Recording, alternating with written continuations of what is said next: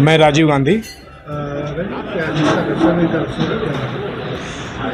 नवरात्र की सप्तमी तिथि को नौ दुर्गा नौ गौरी के रूप में माँ कालरात्रि जी का जो दर्शन पूजन होता है, इनके दर्शन करने से मानव जीवन में सुख समृद्धियों का वास होता है। जो भी उसके ऊपर ऊपरी बाधाएँ होती हैं, उसका समूल नाश होता है।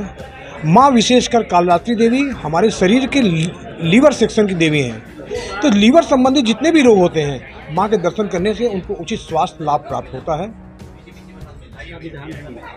माँ का दर्शन का विधान यही कि सच्चे मन से दर्शनार्थी अगर कोई भी भक्त माँ के पास नतमस्तक होता है, वो अपनी श्रद्धा के अनुकूल लाल फूल हुआ, लाल फल हुआ, लाल मिष्ठान हुआ, और या तो जो उसे जो पसंद है, वो माँ को जो प्रिय वस्तु है, दही है, खीर है, ये अर्पण करता है, उससे माँ बहुत ज़्यादा प्रसन्न होती है। जैसे किसी अगर किसी मानव पे, किसी भी प्राणी पे अगर अकाल मृत्यु का भय रहता है, इनके दर्शन मात्र से वो अकाल मृत्यु का भय उसके मन से निकल जाता है और उस व्यक्ति कभी अकाल